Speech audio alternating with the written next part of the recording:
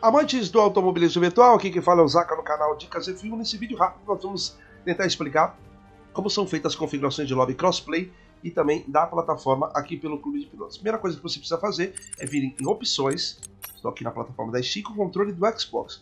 E aqui em configurações, você vai aqui na opção crossplay da direita e ativa essas notificações quando se o lobby crossplay estiver ativado.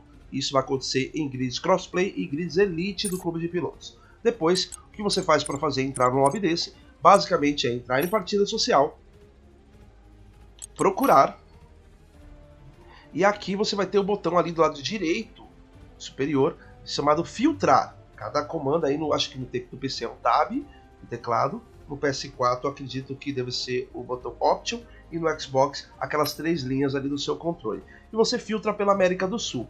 E aqui vocês vão ver um dos hosts meus usados para abrir lobby. São eles: Zaka09 do Xbox, Zaka Dicas da Vida PlayStation e Dicas F1 da Steam.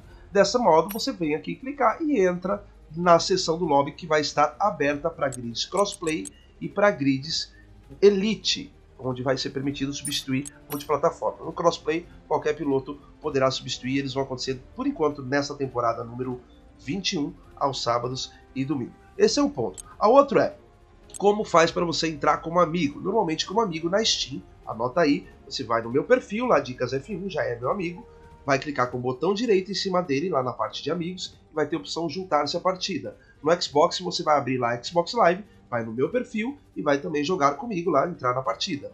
No PlayStation, vai no meu perfil, a mesma coisa, vai ter a opção lá entrar, mostrando o status do meu perfil, qual jogo eu estou jogando. Desta maneira, você entra quando o lobby está configurado para amigos, que é isso que eu vou explicar agora para vocês. Quando vocês quiserem criar um modo treino do clube, a primeira coisa que você tem que fazer é coloque para amigos, que aí só pilotos da sua plataforma vão poder entrar. Não são pilotos da amigos dentro do jogo pela replay. Jogo dentro da sua plataforma. Aquele cara que você adiciona pela Xbox Live, pela PlayStation Network ou pela Steam. Você vai ter que configurar o lobby de modo, primeiro, que as pessoas usem ali as configurações do clube. Tá? Vou colocar aqui, vou carregar. Tome muito cuidado aqui quando você aperta um botão, olha embaixo ali as instruções sobre o que é carregar e qual é salvar, para você não correr o risco de substituir no lobby que você salva. Sempre que você fizer uma configuração de lobby, salva para que você possa futuramente carregar em outro dia. Carregadas as configurações de assistências aqui do clube um treino, você vai deixar sempre assim, ó, amigos, aberto, eu já vou explicar qual momento que você vai deixar. E depois no regulamento você tem essas informações de assistência liberadas. Olhe sempre no canto direito, direito superior ali também se está no modo especialista. Se estiver no casual, muitas dessas opções vão estar ocultas. E aí você não vai poder acioná-las porque vai estar no modo casual. Sempre anotando todas essas configurações do GP, curto e longo. Aqui a, a previsão é aproximada. E recarregue e confira novamente, porque às vezes o jogo não ativa algumas opções. Tá? Principalmente quando se trata da, frequência de dano, o Ghost e também anteriormente que eu falei da previsão aproximada. Feitas essas configurações aqui do clube, você pode salvar e deixar para carregar uma outra oportunidade aí do clube. Aqui você salva e tá ok. Tá? É, depois vocês vão fazer o seguinte: vocês vão criar uma configuração falsa, uma configuração para que quando você deixar aberto o lobby aqui, para que qualquer pessoa entre que esteja ativado o modo crossplay, ou seja, ela fique muito difícil da pessoa olhar o perfil e falar isso aqui não é meu jogo. Vocês podem, por exemplo, deixar salvo aqui como realista, vocês podem colocar tudo desligado, todas as assistências desligadas, aqui de modo que a pessoa olha ali, ah, esse vai ser um lobby sem assistência, então não vou entrar. Então toda vez que tiver um intruso, ele vai olhar as configurações e provavelmente ele vai ficar. Vai ter uns teimosos, mas que não são do clube, e aí você simplesmente pega e quica ele do lobby, ali muito menos pessoas. Põe aqui quali completo, uh, um treino livre, um realista, autêntico, sprint corrida, de modo que as pessoas não entrem no lobby. Clima, você pode pôr o clima da chuva, pode pôr o clima aqui totalmente muita chuva, tá? Pode colocar, uh, aqui eu acho que não recomendo mexer muito, mas pode colocar IA 110, tá? coloca IA 110 aqui, e aí o que, que você faz? Você deixa essas configurações o mais difícil possível e salva aqui. Vai lá no, no comando de configurações e salva de modo que o crossfake aqui. Por quê? Ninguém vai entrar, o cara vai olhar ali longo, 60 minutos, chuva o tempo todo, é, o cara vai, vai entender aquele lobby ali. Provavelmente ele não vai entrar. Isso vai facilitar para que as pessoas não entrem. Depois, quando você estiver perto de todo mundo está dentro do lobby, aí você vai lá e carrega as configurações e revisa.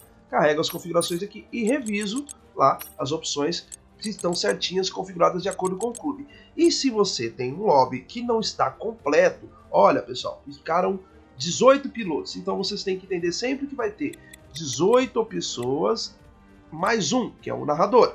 Se caso não tenha narrador, não vai ter transmissão, 18 pilotos. E você limitando essa opção que a gente vai fazer no clube, quando tiver o lobby tudo pronto, os pilotos da plataforma já entraram, os pilotos das outras plataformas entraram também, que você já deixou aberta, você limita aqui o número de participantes e deixa aberta para que sempre que alguém cair, vai tentar voltar daquela mesma maneira que eu iniciei no vídeo, mandando procurar pela América do Sul e aí você consegue voltar para o lobby que você pertencia. É bem simples entendam, quando tivermos lobby, crossplay ou elite no clube, a opção no finalzinho da hora que a gente vai começar a transmissão, ela vai ficar aberta, para caso alguém caia, consiga voltar. Quando for um lobby da plataforma específico, só tem piloto Xbox, só tem piloto PlayStation, só tem piloto Steam.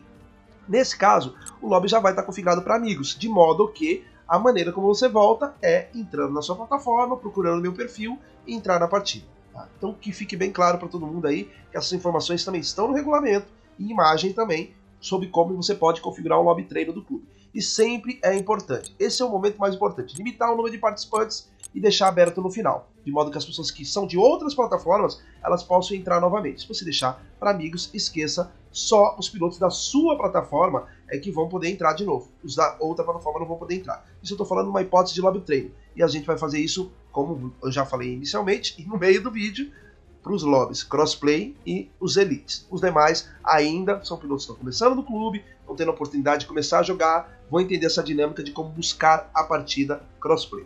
Tá? De resto, você pode verificar sempre que quem é a pessoa host, marca o host e também você pode combinar com uma pessoa que entre primeiro para que talvez o host seja transferido para ela caso você caia. Tá? Espero que tenha aproveitado essas dicas aí, que seja muito importante, que o pessoal colabore muito, porque o crossplay é uma realidade. De tendência a gente cada vez mais ter lobbies crossplay e a gente não está limitado mais à plataforma. Se não der certo, a gente vai retroceder e vai ficar cada um ali na sua plataforma.